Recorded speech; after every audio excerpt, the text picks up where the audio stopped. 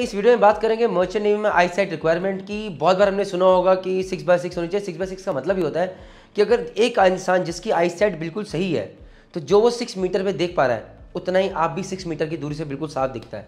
अगर कोई बोले, मेरी सिक्स बाय ट्वेल्व है मतलब एक आम इंसान जिसकी आई साइट बिल्कुल सही है, जितना उसे बारह मीटर की दूरी से बिल्कुल साफ़ दिखता है आपको उतना देखने के लिए छः मीटर की दूरी से देखना पड़ेगा। इसका मतलब कि आँखें कमज़ोर हैं। तो पहले बात करते हैं डेक साइड की। डेक साइड में मिनिमम ज्वाइनिंग के लिए आपकी आई साइड सिक्स बाई सिक्स दोनों आई साइड की होनी चाहिए। लेकिन अगर बाई चांस एक की सिक्स बाई सिक्स है और दूसरे की सिक्स बाई नाइन है, तब भी आप ज्वाइन कर सकते हैं।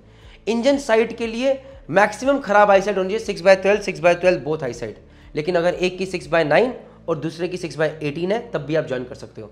For kitchen side saloon rating में। दोनों आइज़ की आई साइड सबसे ज़्यादा खराब six by eighteen six by eighteen हो सकती है। लेकिन अगर एक की सिक्स बाय ट्वेल्व है और दूसरे की सिक्स बाय ट्वेंटी फोर है, तब भी आप ज्वाइन कर सकते हैं।